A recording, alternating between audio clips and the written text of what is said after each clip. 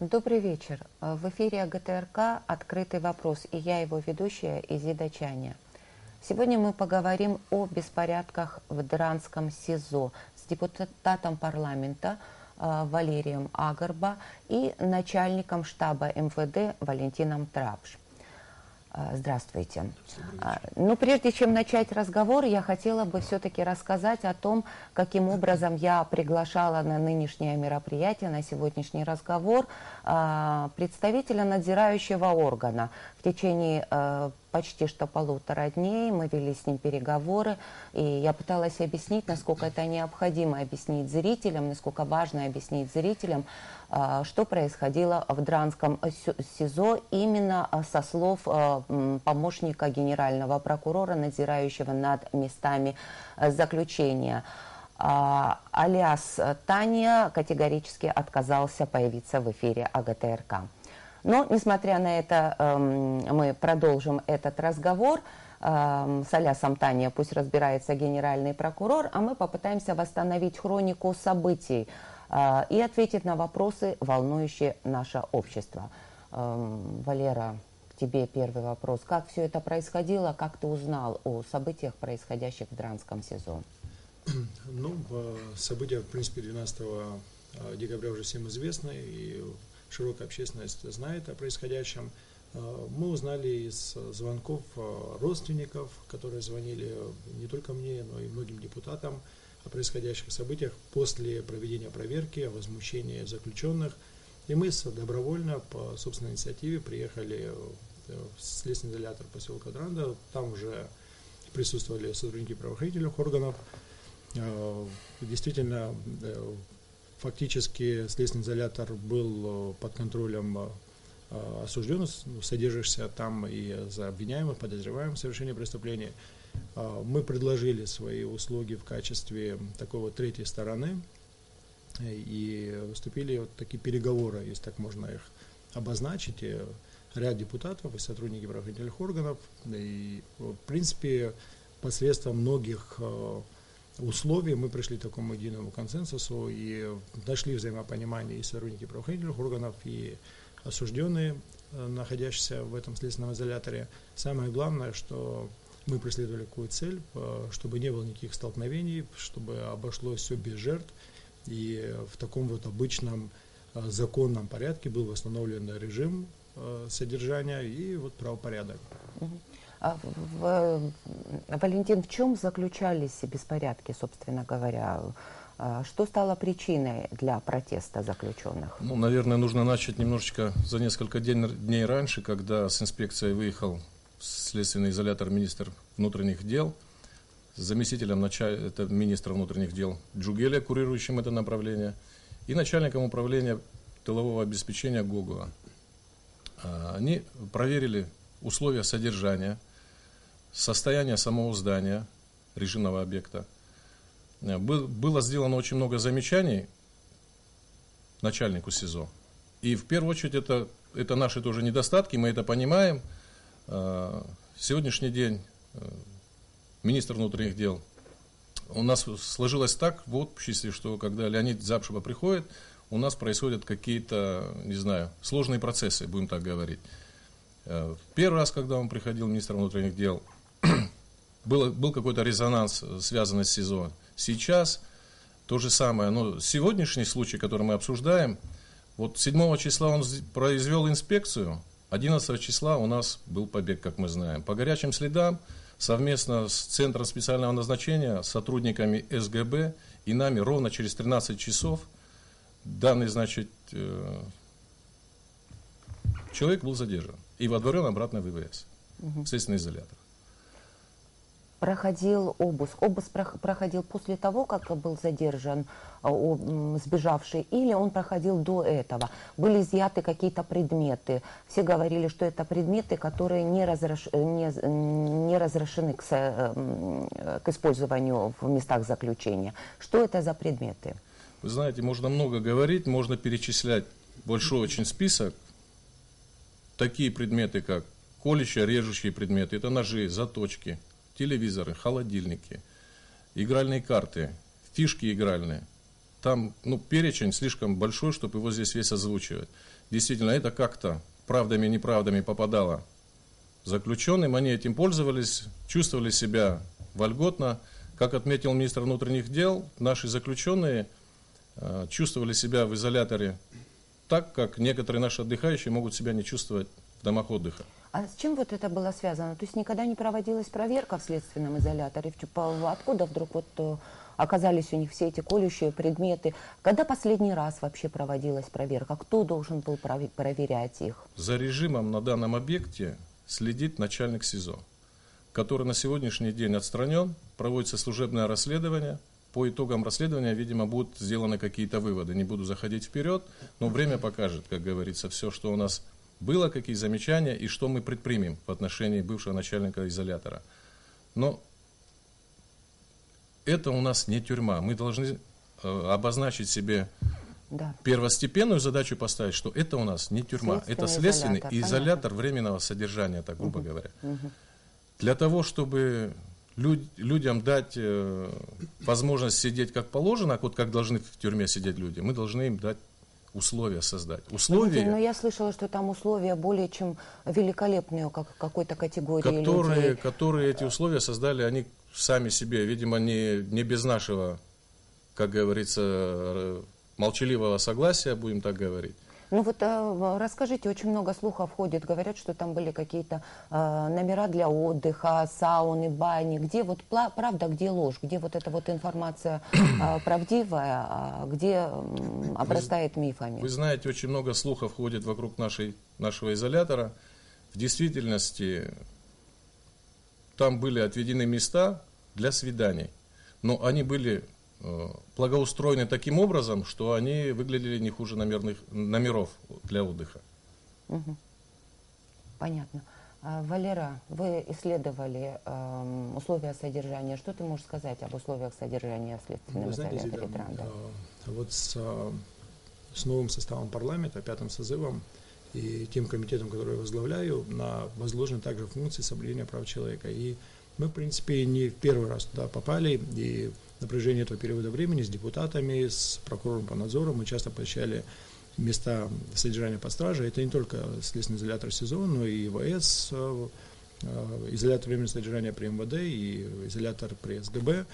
Э, на сегодняшний день в самых лучших условиях надо отметить, что сегодня находится изолятор временного содержания СГБ, потому что он по своему масштабу небольшой и смогли силами, своими собственными средствами восстановить определенные условия что касается следственного изолятора Дранда и изолятора ВЭС, так и, в принципе, в каждом районе эти время, изоляторы временного содержания, они действительно находятся в таком плачевном состоянии.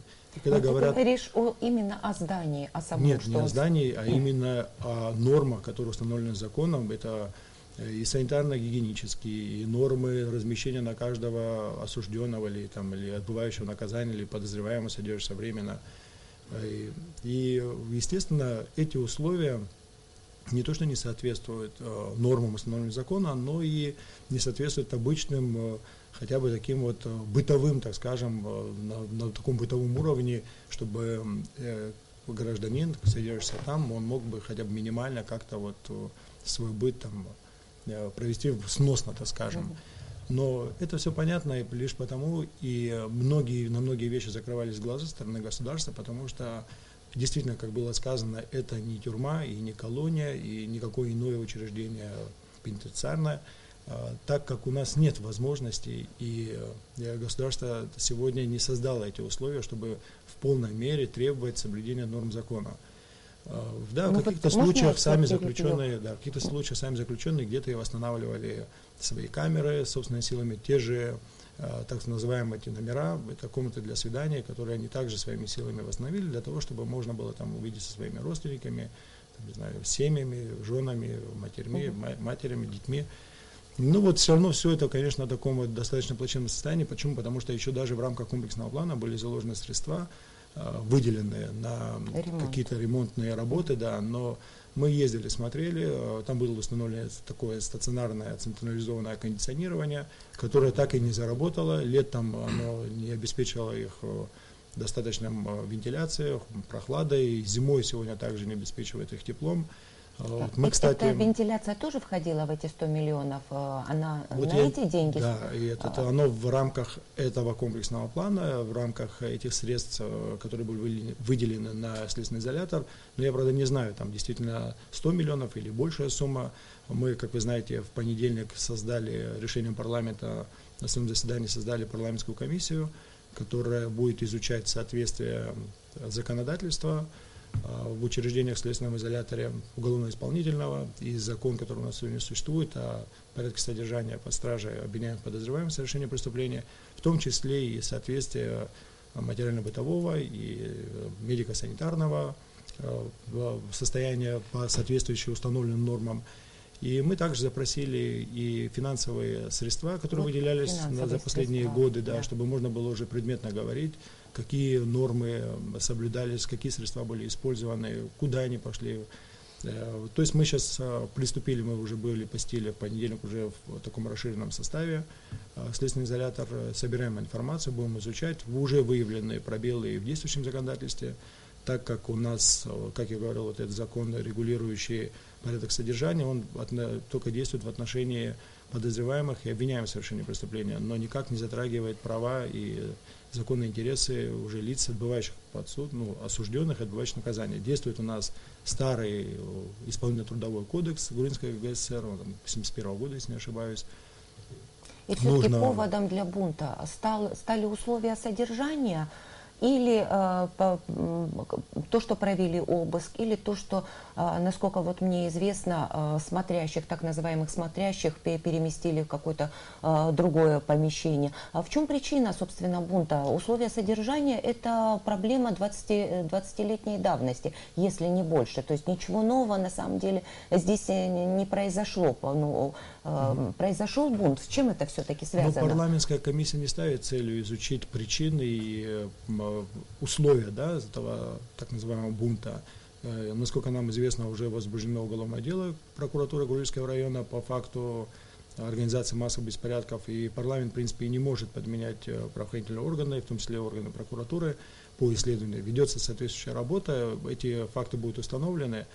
Но мы как э, видим... Организация как беспорядков э, создавалась внутри тюрьмы или все-таки это было извне? Мы не можем точно это сказать, но, видимо, возмущение тех же заключенных вызвали, может быть, возможно, некие перегибы со стороны правоохранительных органов при осуществлении досмотра. Но хотя, вот мы, насколько знаем, э, в пятницу до этих событий сам министр внутренних дел был со, с личным составом, проводили обыск. проверки, проводили обыск, э, велись разъяснительные работы и вроде как бы пришли к какому-то да, общему знаменателю, и там никаких беспорядков не было. Что То произошло? есть они не планировались ни, ни да, что произошло в субботу, да? это неизвестно. Но все-таки, э, видимо, имело место такие факты и ранее, потому что в 2009 году, вот мы поднимали законодательство в процессе изучения, был, был подписан приказ генеральным прокурором об организации надзора за местами содержания по страже лиц, отбывающих наказание и содержащихся по страже обвиняемых, подозреваемых. И многие факты там тоже были отражены. Естественно, конечно же, прокуратура э, поручила и прокурору города, и заместителям генерального прокурора, курирующий надзор за местами отбывания наказания, что все-таки соблюдать осуществлять надзор за, за уголовно-исполнительным законодательством и взять это как за основу соблюдения конституционных прав э, граждан, содержащихся... С тех пор э, изменилось, просто напрашивается Очень, там, э, вопрос, да? Желательно, конечно, чтобы Генеральная прокуратура более активно принимала в этом участие, потому что функции надзора, не только уголовного преследования, но и функции надзора также конечно. вменены Генеральной прокуратуре в соответствии с законом. Э, естественно, были установлены прямо э, конкретные даты и сроки, что необходимо там э, каждые 10 дней проверять учреждения отбывания наказания, выявлять. каждые 10 и, дней или нет? Мы это не, сейчас сегодня не знаем, но мы хотим тоже как бы установить, насколько эффективно соблюдается не только закон о прокуратуре, но и в том числе и приказ угу. э, генерального прокурора. Самая главная, основная была задача это своевременно выявлять, пресекать и предотвращать какие-либо в дальнейшем и в будущем а, нарушения прав и законных интересов. Валера, Насколько это эффективно, это, конечно, должно Сколько средств из бюджета выделяется на содержание заключенных, и если это возможно, сколько, во сколько обходится государству содержание одного заключенного? Есть у нас сегодня такие данные, или мы ими не Эти обладаем? данные есть, конечно, в Министерстве финансов и Министерстве внутренних дел, так как эти учреждения, они находятся на балансе Министерства внутренних дел. Кстати, я хочу сказать, что эти пенитенциарные учреждения во всех странах э, они находятся не в структуре МВД, а в структуре Министерства юстиции. Это дополнительная нагрузка в данной ситуации на э, наше Министерство внутренних дел. Но исходя из тех возможностей и тех обстоятельств, которые сегодня сложились после э, войны, конечно, учитывая больше как бы силовые возможности, и спецсредства, и законы милиции, позволяющие применять э, и физическую силу, и устанавливать режим, Конечно, сегодня это, но это тоже неправильно, и может быть, когда у нас будет больше возможностей, конечно, это будет, надо будет приводить соответствие. Но, ну, но в Министерстве внутренних дел да, мы да? запросили, угу. так как мы этим же, мы своим постановлением также обращаемся и к органам Министерства внутренних дел, Генеральной прокуратуры за содействием, в том числе и Министерством финансов, Министерством здравоохранения, потому что э, там не только свя- расходы, связанные с заработной платой, содержание администрации учреждений, но в том числе и есть установленный Кабинетом министров э, перечень, необходимый э, перечень продуктов питания, которые рассчитаны по нормам для мужчин, для женщин. Эти, кстати, по закону это обязательно, и э, каждый заключенный или содержащийся по стаже имеет право на получение бесплатного и питания, и каких-то бытовых, гигиенических каких-то приборов, условий. Мы запросили эту информацию, да, медикаменты, да. да, в том числе угу. и есть кто ну, нуждается в каком-то стационарном лечении, что тоже связано, кстати, с проблемами, потому что в этих условиях обеспечить медицинское обслуживание хотя бы на минимальном уровне практически невозможно.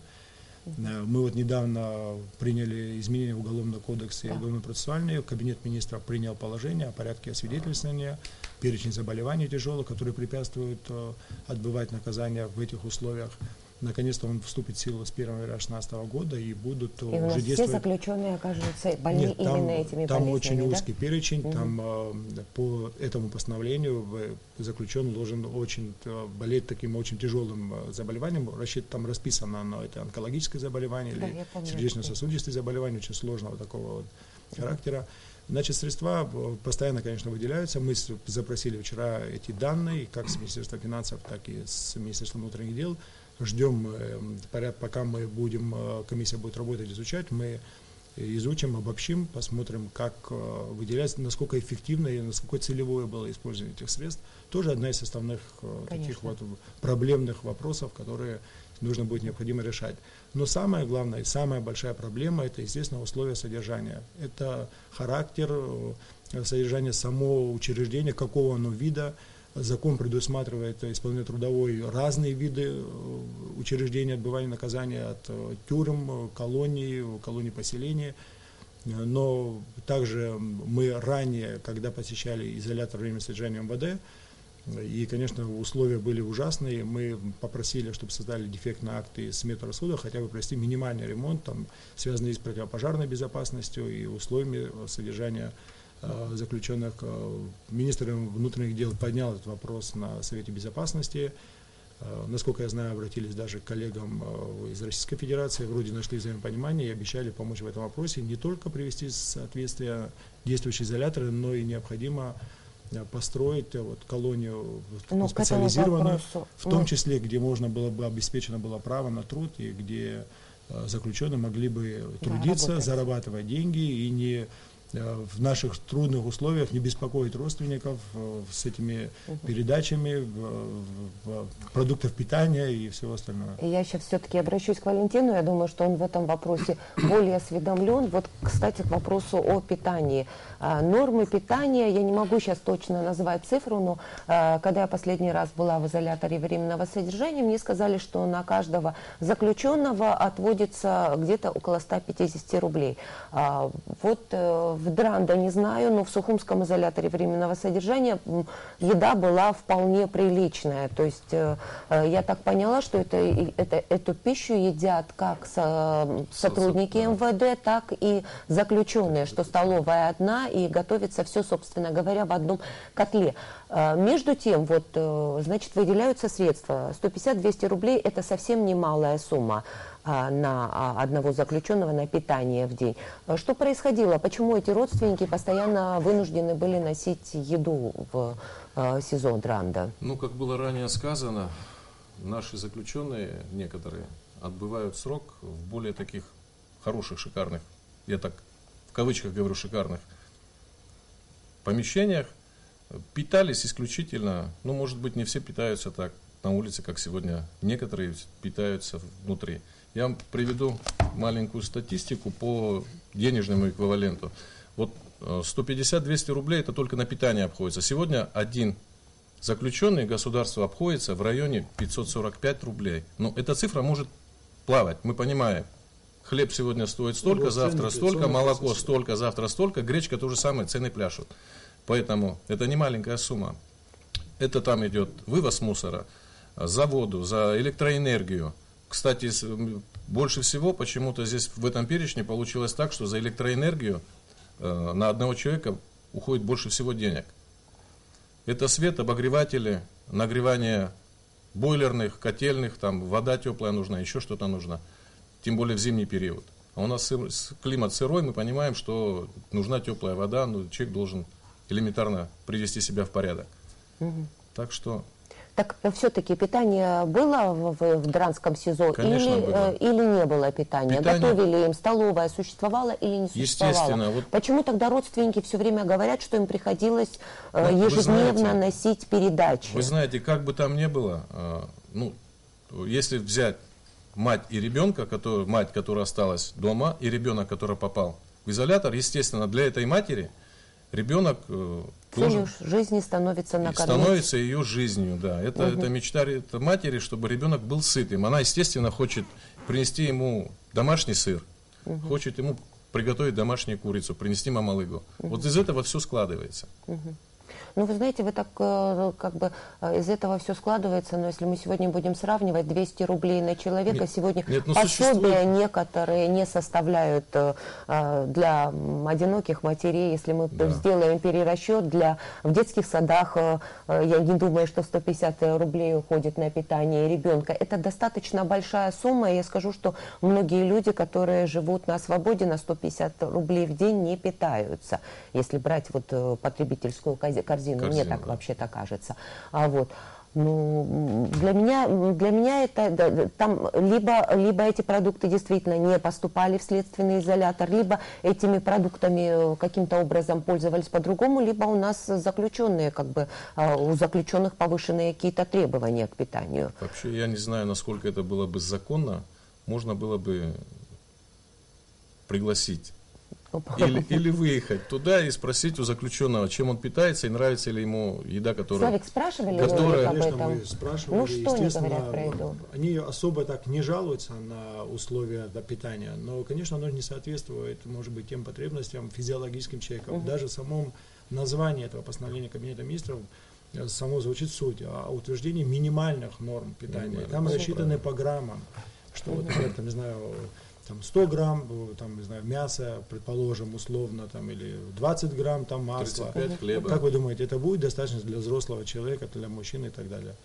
Там установлено также для женщин. Женщин, там, ну, понятно, что у нас а, нет, не, не содержится женщины с детьми. Там отдельно ну, та же норма установлена. Да. Кстати, наши женщины заключенные содержатся в изоляторе временного содержания да. МВД. Да. Тоже не соответствующим, а, кстати, нормам, нормам и стандартам. Они ну, должны содержаться отдельно. Условия Дранды СИЗО, конечно, лучше, чем изолятор временного содержания, где нет возможности фактически для прогулок, нет возможности для какого-то, какого-то общения. Они в Дранском изоляторе есть прогулки? Да, там установлены прогулки, в соответствии с законом, э, они должны быть не менее часа.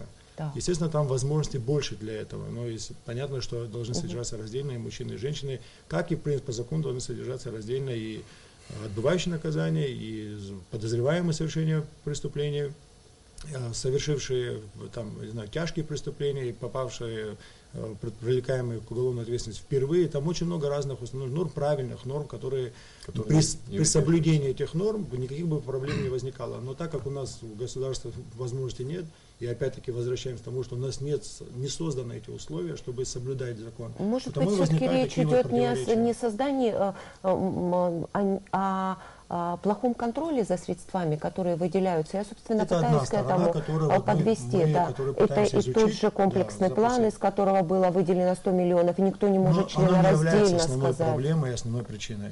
Вот это я вам точно могу сказать. Возможно, какие-то будут нарушения, если мы их можем выявить, мы привлечем туда и контрольную палату, а, для того, чтобы более эффективно и, так скажем, профессионально были изучены средства, расходование этих средств. Сделаем выводы, посмотрим. Но все-таки я считаю, что именно выделение этих средств, если возможно какие-то такие преступления, связанные с, там, с коррупционными какими-то вот такими условиями, они имели бы место, но прямо они на условия содержания не влияют. Потому что все-таки правильно, вот как э, говорил Валентин, что нашли формы так, совместного, так скажем, общежития, когда родственники приходят, э, так как государство не может э, обеспечить необходимыми всем условиями, там, нашли способ, одним словом, как-то проживать и Улучшить себе да, сам, бытовые себе, там, не знаю, те же вопросы питания, как-то смогли это сделать и, в принципе, там, в общем-то, всех устраивает. Никто особо там не жалуется на то, что вот не достает, там, каким-то нормативам не соответствует. Все не жалуются, но между тем беспорядки состоялись, да, вот э, я недавно была в изоляторе временного содержания МВД, там тоже никто не жаловался, тоже все были очень довольны, были довольны питанием, очень, а, я бы сказала, даже теплые отношения у них были и с сотрудниками МВД. Меня даже так немного резануло мое ухо, когда кто-то там, дядя такой-то обращался к сотруднику милиции. А, вот, ну, достаточно были теплые, поэтому для меня вот я понимаю, что это было, было какое-то вот, э, Дранда было какое-то компромиссное решение, да, а, собственно, не поступало никаких жалоб ни в парламент, насколько я знаю, ни в прокуратуру, ни в за заключенных никогда. Когда-нибудь рассматривался вопрос Дранды, Дранского СИЗО вообще на какой-нибудь сессии парламента? Какое-то представление неоднократно, делалось? Неоднократно мы, как я говорил, когда мы посещали эти изоляторы, и не только Дранда, но и изоляторы ВС, СГБ, мы выявляли, обращали внимание и правоохранительных органов, многие вещи по мере возможности в таком вот рабочем порядке как-то исправлялись, в том числе угу. это содержание там условия карцера, а, условия там каких-то бытовых. Вот мы э, парламент в свое время нашли средства, выделили вот для женских камер мы приобрели кондиционеры, которые да, министр тоже вошел да. в положение, что необходимо их установить, но на самом деле там есть и больные люди, которым очень тяжело, особенно в летний период, где практически нет доступа к кислороду, и это как-то вот их смягчило какой-то быт. Естественно, жалобы, особенно по следственному изолятору и особенно а, от женщин, поступали неоднократно. Угу. Там элементарно просто даже гигиенических норм э, не, да, не могут они выдержать, и поэтому там совершенно другие требования, угу. которые там предоставить невозможно. И, и с следственного изолятора поступали жалобы в парламент неоднократно как и в отношении уже осужденных отбывающих наказания. Как и гранты вы имеете да. в виду, да? Но так как э, парламентские функции тоже и полномочия ограничены, так как парламенту запрещено угу. вмешиваться в деятельность как судебной власти, так и органы дознания, предварительного следствия, это прямо законом запрещено. Но наши полномочия, естественно, могут, э, позволяют осуществлять контроль и те заявления, которые поступали в парламент, связанные с там, нарушением их законных прав, применением недозволенных методов в отношении угу. заключенных или там, под, подследственных, мы эти материалы незамедлительно сразу же переправляем генеральному прокурору с, с требованием провести соответствующие проверки, установления фактов и принятия мер в соответствии с законодательством. Меры принимаются? Э, ну, производятся, производятся да, разные мероприятия, в том числе связанные с данными событиями и смертью в СГБ, и там мы знаем, что новый руководитель э, Моргания проводил внутреннее расследование, определен был круг лиц, где э, были зафиксированы факты превышения полномочий сотрудниками правоохранительных органов в процессе, там, не знаю, там, э, следствия. Ну, я знаю, что сегодня никто не позволяет себе там каких-то противоправных действий в отношении подозреваемых, обвиняемых. Э, в принципе, в этом отношении э, вроде как бы закон соблюдается, и смогли сохранить вот эти вот установленные нормы. Вот, э, Слайк, вы говорите, что э, условия содержания не соответствуют нормам. Между тем, парламент дает согласие на подписание соглашения об обмене заключенных между Российской Федерацией и Абхазией.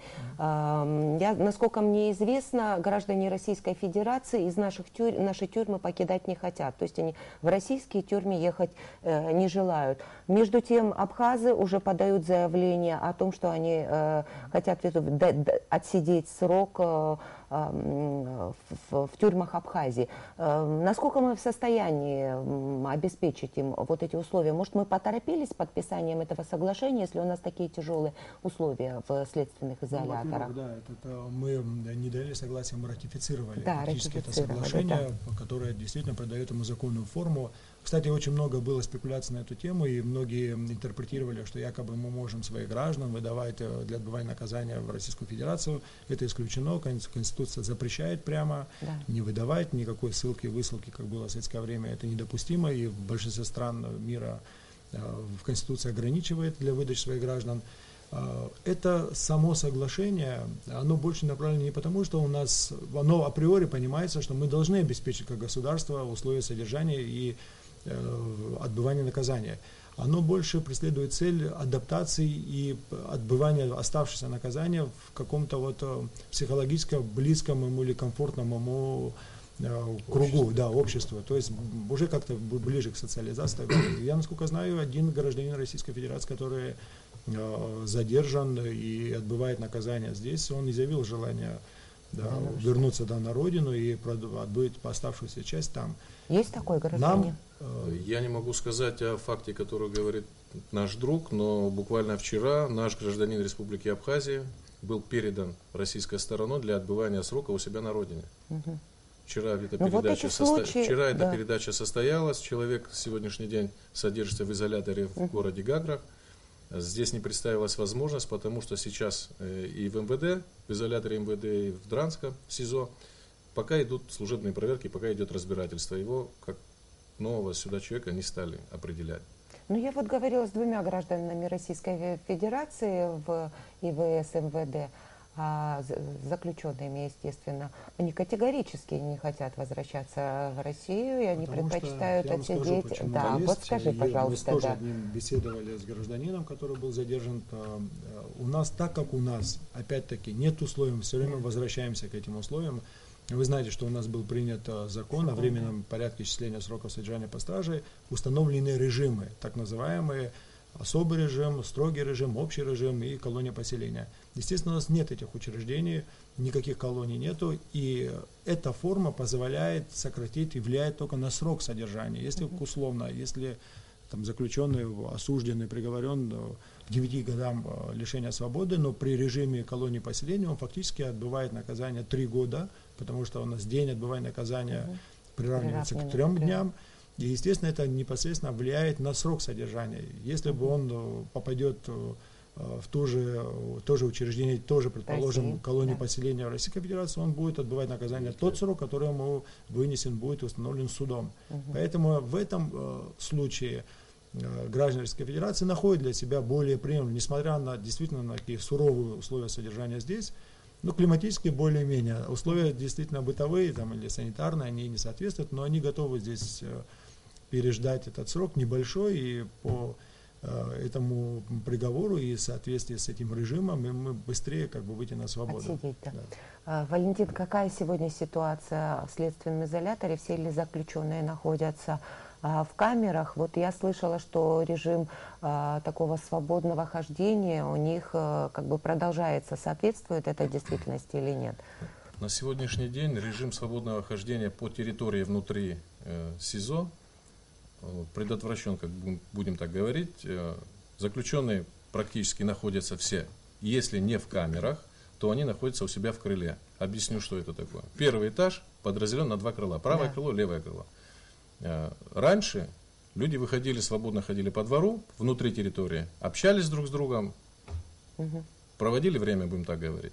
Сегодняшний день камеры, когда мы пришли 10 числа после побега, камеры были сломаны, задвижки были заварены, замки были вновь куплены и повешены. Но за ночь получилось так, что, будем так говорить, что здание само расшатано. Э, наши заключенные постарались сделать все, чтобы эти задвижки и замки были опять вывернуты и сломаны. Теперь на сегодняшний день э, заключенные так не гуляют уже как раньше по двору. Они находятся внутри самого здания, э, перекрыты крылья, вот правое крыло перекрыто, они между собой еще пока на сегодняшний день ходят, общаются, заказаны опять новые замки. Э, на литейно-механическом заводе города Сухум заказаны новые задвижки. Сегодняшний день, вчерашний день и завтрашний день идет процесс налаживания закрытия, правильного закрытия дверей и замков. Заваривают... Это снова не станет э, поводом для возмущения а, со стороны заключенных? Ну, вы знаете, э, министр МВД на сегодняшний день человек слова и жесткий немножко в этом формате. На, ни на какие условия он не идет. У него есть свои взгляды, правильные, как у сотрудника милиции в первую очередь. Э, и не собирается он не выполнять, никак, идти на какие-то условия. Он знает, что режим должен быть, и он будет. Я, можно, добавлю тоже можно. уже со стороны уже заключенных, так как мы выезжали и э, беседовали с заключенными, со стороны э, содержащихся там в СИЗО э, полное есть понимание, что действительно необходимо установить соответствующий режим, укрепить технические да, вот эти двери, которые действительно не соответствовали, они изготовлены очень какого-то тонкого металла, никакого противодействия не будет этому, это однозначно, об этом они высказывались, и они ждут, когда будет материально. Это вопрос опять такой материально-технической э, стороны. Их надо заказать, э, выделить средства. Но вроде, насколько мы знаем, уже соответствующие материалы уже приобретены, и вот будет установлено в ближайшее время никакого иного какого-то нового бунта или по этому поводу в связи с тем, что будут установлены двери и соответствующие замки не будет. Я, честно говоря, так и не поняла, чего они тогда возмущались, чего они бунтовали, если Э, речь идет только вот... Э, мне, мне, мне все время такое ощущение, что кто-то чего-то не договаривает, что там есть какая-то э, еще причина возмущения, что просто вот в обществе не, хоч, не хотят об этом говорить. Может, возможно, боятся. Вы знаете, может быть, знаете еще наслоения разные. И э, этот, э, этот день, он обрастал как снежный ком разными слухами. Здесь пытались какие-то политические процессы включить что якобы кто-то регулирует эти процессы, там, э, сторонники власти или оппозиция. Но все это, конечно, отмелось, и э, таких фактов не установлено. И сами же заключенные понимают, что не было нет такой необходимости, и никто не желал, наверное, так, чтобы этот побег стал причиной этих обысков. Так все-таки побег причина обыска? Ну, это ЧП. Нет, это было побег ЧП, причина а, бунта? Нет, нет, нет. Дело в том, нет. что это произошло чрезвычайное происшествие. Несмотря на выделенные средства и установку вот этого забора и колючей проволоки, все-таки нашел способ этот э, человек каким-то образом покинуть, покинуть. эту территорию. Да. Естественно, э, сотрудники правоохранительных органов, э, как и предлагает закон, они имеют на это право, полное соответствие законам, провести соответствующие мероприятия и Э, то, что они сделали. Uh-huh. Что там в процессе произошло и э, почему стало поводом на следующий день, это вот занимается следствие, будут выяснены эти причины.